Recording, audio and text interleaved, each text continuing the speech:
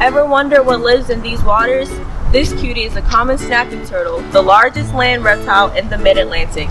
Young snapping turtles can be small, like this three-year-old, but can weigh up to 35 pounds. Snapping turtles spend most of their lives in the water. Every once in a while they'll come up on land, and the females do come up on land to lay eggs. So in the springtime you'll often see snapping turtles crossing roads. The snapping turtle is actually a very common species here on Delmarva.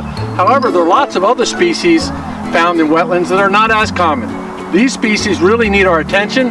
The habitats in which they live deserve our protection. Marshes and rivers are very critical to snapping turtles and other wildlife.